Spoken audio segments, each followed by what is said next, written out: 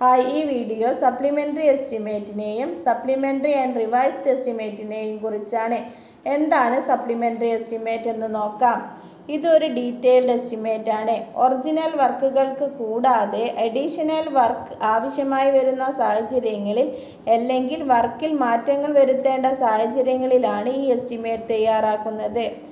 ഇത് ഒറിജിനൽ എസ്റ്റിമേറ്റിന് പുറമെ പുതിയ ഐറ്റംസുകളുടെ ഒരു ഡീറ്റെയിൽഡ് എസ്റ്റിമേറ്റ് പ്രിപ്പയർ ചെയ്യും. അതിനുശേഷം ഒറിജിനൽ എസ്റ്റിമേറ്റും ഈ ഡീറ്റെയിൽഡ് എസ്റ്റിമേറ്റും കൂടിയുള്ള ടോട്ടൽ കോസ്റ്റിന്റെ എസ്റ്റിമേറ്റ് ബന്ധപ്പെട്ട അതോറിറ്റിക്ക് സാങ്ഷന് സമർപ്പിക്കും. ഈ എസ്റ്റിമേറ്റിനെയാണ് സപ്ലിമെന്ററി എസ്റ്റിമേറ്റ് എന്ന് പറയുന്നത്.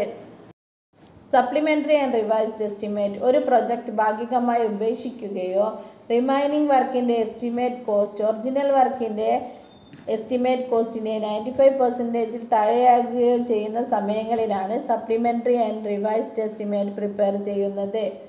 കൂടാതെ മെറ്റീരിയൽസിന് വരുന്ന മാറ്റങ്ങൾ ഡിസൈൻ വരുന്ന ചേഞ്ചസുകൾ എന്നീ സമയങ്ങളിലും supplementary and revised estimate prepare ചെയ്യും. ഇവ ബന്ധപ്പെട്ട അതോറിറ്റിയുടെ സാങ്ഷൻ വാങ്ങിയിരിക്കണം.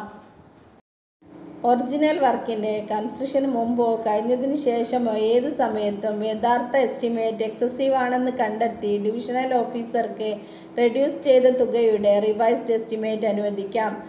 അനുമതി നൽകുമ്പോൾ അക്കൗണ്ട് ജനറലിനെയും മറ്റു ഉന്നത അധികാരികളെയും അറിയിക്കണം.